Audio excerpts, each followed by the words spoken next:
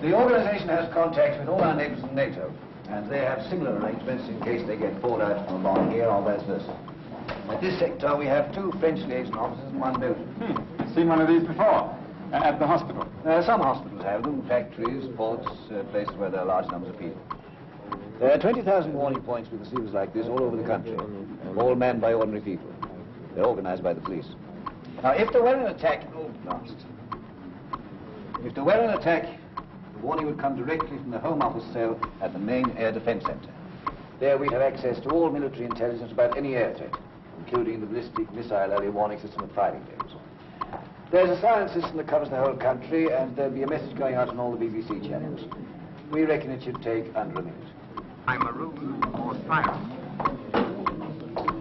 Well, let's just hope this little beast keeps on with it. Oh, Lord, I busted.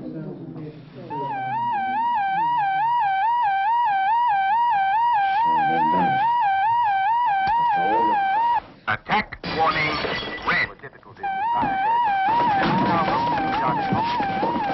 Here is an emergency announcement. An air attack is Everybody approaching inside? this country now. Right, close all the Come doors. to shelter or take cover at once. Attack warning red. Attack warning red.